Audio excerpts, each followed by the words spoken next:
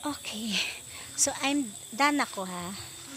Done ako for feeding my baboy. Ayan. Ang yan ang life ko dito. Pagkatapos kong mag-deliver sa online online ano ko, mga paninda ko kasi may nag-online ako ng paninda ng mga saging. So, sa awa ng Diyos, malakas. So, kanina, tapos ako na, uh, kanina is mga 9 ako, ay, mga uh, 7 yata pumunta ako dito nagpipiding ako ng mga hayop ko dito and then pagkatapos mga 9 ha, nagtimbang pa ko sa mga saging and then going to distance amo ah. so malayo malayo So, after kong nagde-deliver, pumunta ako dire mga 12.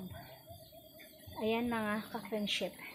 So, mga 12. So, nandito, until now, nandito tao. Kasi kapag babalik ako after 12, pagkatapos kong mananghilian sila, babalik naman ako dito. So, mapapagod ako. So, continue lang ako dito at tapos na ako sa kanila. Ito is buntis na. At ito, buntis na diyan. So, ito ang dalawa pang patining ko. Ayan, hay, no. Marami akong manok dito. Ayan, malaki, oh. Ayan. Tapos na din magpakain yan. At saka yun, ang maliit kong baboy. Ayan. Tapos, rabbit ko. Ayan. Dami pa sa dito. Ayan. Yun ang mga alaga ko dito.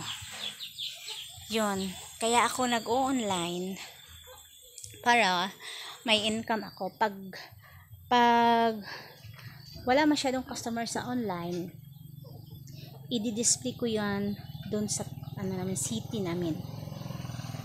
Magdi-display ako at magtitinda ako doon sa city namin. Pag hindi maubos sa online pero mauubos siya. Ayan kaya happy ako kasi kahit pa paano may income ako everything hmm?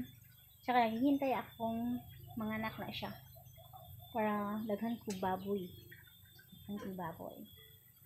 So ayun yun ang ang kwento ko for today. So ang dami talaga kong manok ha. And then yun lang ang kwento ko ngayon. Napaka ano ko ngayon hugaw pero kaysa mag-aarte-arte tayo ganda nating tingnan kinis tayo pero wala naman tayong income di ba? Hmm? kaya kailangan talaga natin magsikap hindi yung pa-ui-ui o fried-fried wag ganyan. Kasi kapag fried tayo fried tayo baka kasi ano mababa yung tingin yung ginagawa natin sa sa sa trabaho natin. Magugutom talaga tayo at wala tayong pera na pangbili ng food. Kaya maging wais kung anong naabot sa buhay aminin. Tapos i-up. Kahit hindi pa yun masyadong ano madumi pa yun. Ganun ang buhay no Ayan. Tutor ko kayo sa aking mga manok. Natapos nang kumain. Pag ako ay magpapakain sa kanila, ang dami lang tingnan. Ayan. Hi, Nok! Hi, Nok! Naiputot naman, Nok. Ayan. Hi, Nok! Hi, Nok!